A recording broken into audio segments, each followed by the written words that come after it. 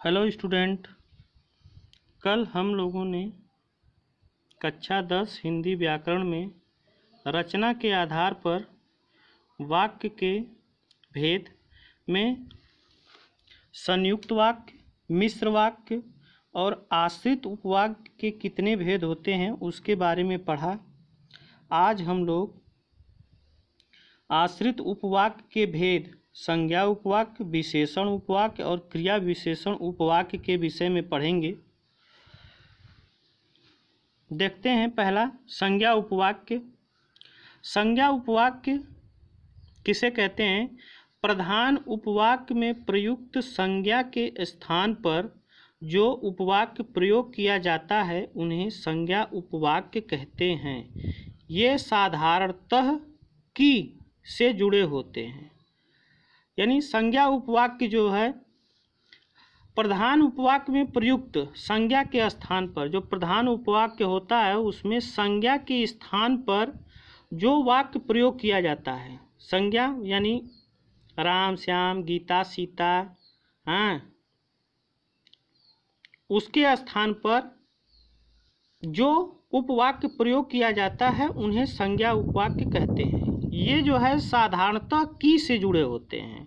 जैसे ममता ने कहा कि अच्छे स्वभाव से ही मनुष्य सबको जीतता है।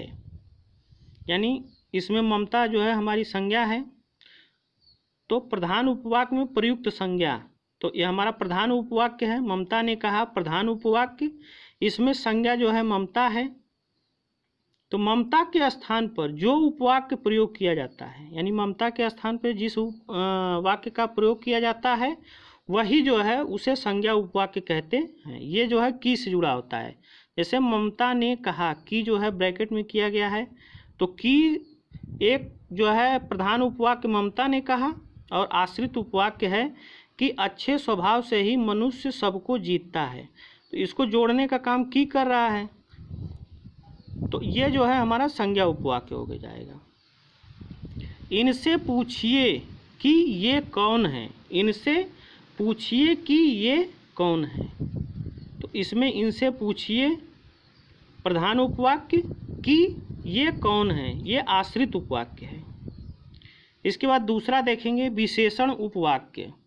विशेषण उपवाक्य किसे कहते हैं? जब आश्रित उपवाक्य प्रधान उपवाक्य की संज्ञा या सर्वनाम की विशेषता बताता है, जब आश्रित उपवाक्य। किसकी? प्रधान उपवाक्य की संज्ञा या सर्वनाम की, जो संज्ञा इसमें रहता है, प्रयोग किया जाता है। प्रधान उपवाक्य में या सर्वनाम प्रयोग किया जाता है। उसकी जब ये विशेषता बताता है, तब इसको जो है विशेषण उपवाक्य कहते हैं। तब इसको जो है विशेषण उपवाक्य कहते हैं। नोट करके यहाँ पे लिखा गया है कि विशेषण उपवाक्यों का प्रारंभ प्रायः जो जिससे जिसने जिस पर, जिसके लिए, जिसमें, जिसको आदि से होता है। विशेषण उपवाक्य का प्रारंभ जो है, किससे होता है? कि जो जिससे, जिसने, जिस पर, जिसके लिए, जिसमें, जिसको आदि से होता है। जो शब्द के रूप ज़रूर चलते हैं। इन वाक्यों में जो है, जो शब्द का, यानी जो जो है, हमेशा इसमें लगा रहता है।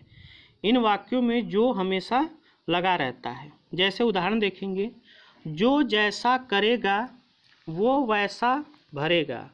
जो जैसा करेगा, वो वैसा भरेगा। यानी यहाँ पे जो लगा हुआ है तो जो जैसा करेगा, वो वैसा भरेगा। जो जैसा करेगा, ये हमारा प्रधान उपवाक्य हो जाएगा। वो वैसा भरेगा, ये आश्रित उपवाक हो जाएगा। ये उसके ऊपर क्या है? आश्रित। यानी हम जैसा काम करेंगे, वैसा ही हम भरेंगे। यही यह वही मोर है जो कल नाच रहा था। यानी यह प्रधान उपवाक्य हो जाएगा। यह वही मोर है, ये प्रधान उपवाक्य, और जो कल नाच रहा था, ये आश्रित उपवाक्य। यानी ये उसके ऊपर क्या है? प्रधान उपवाक्य के ऊपर निर्भर है। जिसमें साहस होता है, सफलता उसके कदम चूमती है। प्रधान उपवाक्य है, जिसमें साहस होता है, सफलता उसके कदम चूमती है, आश्रित उपवाक्य। यानी कि सफलता जो है, तभी कदम चूमेगी जब जो है, हमारे अंदर साहस रहेगा। तो साहस हमारा प्रधान उपवाक्य हो जाएगा और सफलता कदम चूमेगी, आश्रित उपवाक्य। जो जीता, वही सिकंदर। ना? जीतेंगे तभी सिकंदर कहलाएँगे। यानी ये हमारा जो है प्रधान उपवाक्य और वही सिकंदर आश्रित उपवाक्य। फिर नेक्स्ट है क्रिया विशेषण उपवाक्य। जो उपवाक्य प्रधान उपवाक्य के क्रिया की विशेषता बताते हैं, जो उपवाक्य। प्रधान उपवाक्य के क्रिया की, यानी उसमें कौन सा काम हो रहा है, कौन सी क्रिया हो रही है, जब उसकी विशेषता बताते हैं, तब उन्हें जो है क्रिया विशेषण उपवाक्य कहते हैं। नोट करके देखेंगे इसमें कि इस प्रकार के वाक्य में जब, जहाँ, जितना, जैसे आदि का प्रयोग होता है। नोट करके देखेंगे कि इसमें जब, जहाँ, जैसे आदि का प्रयोग होता है। जैसे उदाहरण देखेंगे विवेकानंद जहाँ जहाँ गए, उनका आदर सत्कार हुआ। विवेकानंद जो है, जहाँ जहाँ गए, उनका जो है, आदर सत्कार हुआ। जहाँ जहाँ, ना? यानी ये हमारी क्रिया विशेषण है। क्रिया की विशेषता बता रहा है। तो ये हमारा क्रिया विशेषण हो जाएगा। जैसे ही वर्षा समाप्त हुई, मैं चल दी। जैसे ही वर्षा जो है, समाप्त हुई, मैं चल दी। यानी वर्षा के समाप्त होते हुए जो है वह चल दी।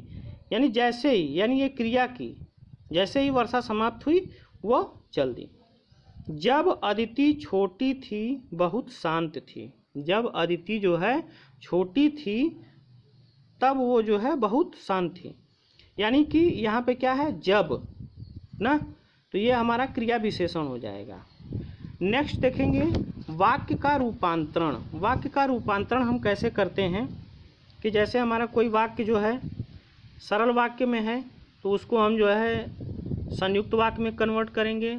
जब उसको हम संयुक्त वाक्य में बदलेंगे तो उसको वाक्य रूपांतरण कहेंगे। सरल वाक्य को हम मिश्रित वाक्य में बदलेंगे तो उसको वाक्य रूपांतरण कहेंगे।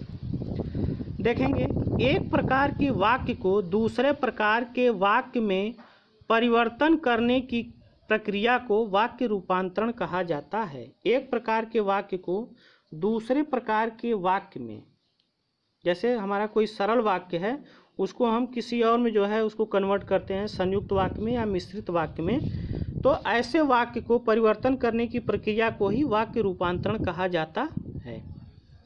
उदाहरण देखेंगे, जैसे है कि यहाँ पे पहला है कि लाल बत्ती होते ही यातायात रुक गया। ये हमारा सरल वाक्य है। लाल बत्ती होते ही यातायात रुक गया। ये हमारा सरल वाक्य हो गया। अब इसको जो है संयुक्त वाक्य और मिश्रित वाक्य में कैसे बदलेंगे? कि लाल बत्ती हुई और यहाँ पे और का जो है ये प्रयोग किया गया है। ये संयुक्त वाक्य में आता है। इसके बाद यातायात रुक गया। एक सरल वाक्य जो है ये हो गया कि लाल बत्ती हुई। एक सरल वाक्य तो ये हो गया। यातायात रुक गया। एक सरल वाक्य ये हो गया। इन दोनों को जोड़ने के लिए और का प्रयोग किया गया है। तो ये हमारा जो है और लगा करके जब दोनों वाक्य को जोड़ देंगे तो ये हमारा संयुक्त वाक्य हो जाएगा। इसके बाद है मिश्र वाक्य। इसमें जो है जैसे ही लाल बत्ती हुई, ये हमारा जो है प्रधान उपवाक्य है, यातायात रुक गया, ये आश्रित उपवाक्य है। तो जैसे ही यहाँ पे जैसे लगा दिया गया है तो जैसे ही लाल बत्ती हुई, यातायात रुक गया, ये तो मिश्र वाक्य में। यानी कि लाल बत्ती होते ही यातायात रुक गया, ये सरल वाक्य हो गया। लाल बत्ती हुई और यातायात रुक गया, ये संयुक्त वाक्य हो गया। जैसे ही लाल बत्ती हुई, यातायात रुक गया, ये मिश्र वाक्य हो गया। दूसरा देखेंगे। रवि को संस्कृत पढ़नी है और वह शिक्षक के घर गया। ये संयुक्त वाक्य है। और बीच में लगा हुआ है। रवि को संस्कृत पढ़नी है, एक सरल वाक्य ये हो गया। वह शिक्षक के घर गया, एक सरल वाक्य। ये हो गया।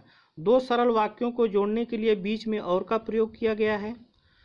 तो ये क्या हो जाएगा? संयुक्त वाक्य कैसे बनेगा कि रवि को संस्कृत पढ़नी है और वह शिक्षक के घर गया। ये हमारा संयुक्त वाक्य बन गया। अब संयुक्त वाक्य को सरल वाक्य में बदलना है, इसके बाद मिश्र वाक्य में बदलना है। रवि संस्कृत पढ़ने के लिए शिक्षक के घर गया। यानी रवि संस्कृत पढ़ने के लिए शिक्षक के घर गया, ये हमारा सरल वाक्य में जो है बदल गया इसको।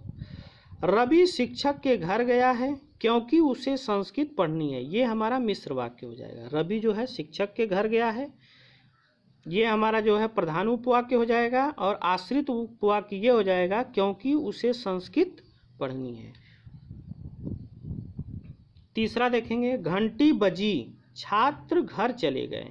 ये दो सरल वाक्य है। घंटी बजी, पूर्ण विराम है। एक सरल वाक्य ये हो गया छात्र घर चले गए। एक सरल वाक्य ये हो गया, यानी इसमें दो सरल वाक्य हैं। अब इसको जो है, एक सरल वाक्य में कैसे बदलेंगे? घंटी बजते ही छात्र घर चले गए, ये एक सरल वाक्य हो जाएगा। यानी इन दोनों को जो है पूर्ण विराम बीच में से हटा करके जब दोनों को जोड़ेंगे तो घंटी बजते ही छात्र घर चले गए। एक सरल वाक्य हो गया। इसको संयुक्त वाक्य में बदलने के लिए घंटी बजी और छात्र घर चले गए। घंटी बजी, एक सरल वाक्य, छात्र घर चले गए, दूसरा सरल वाक्य। इसको और से जोड़ दिया गया तो घंटी बजी और छात्र घर चले गए। इसके बाद है, जैसे ही घंटी बजी छात्र घर चले गए। जैसे यहाँ पे लग गया, यानी ये मिश्रित वाक्य हो गया, जैसे ही घंटी बजी छात्र घर चले गए। ये हमारा मिश्र वाक्य हो गया। तो हमने जो है देखा कि रचना के आधार पर वाक्य के भेद पहले वीडियो में जो है सरल वाक्य तक पढ़े, दूसरे वीडियो में जो है संयुक्त वाक्य, मिश्रित वाक्य, और तीसरे वीडियो में जो है ये हमारा पूरा कंप्लीट हो गया। तो आज हमारा जो है रचना के आधार पर वाक्य के भेद पूरा चैप्टर कंप्लीट हो गया।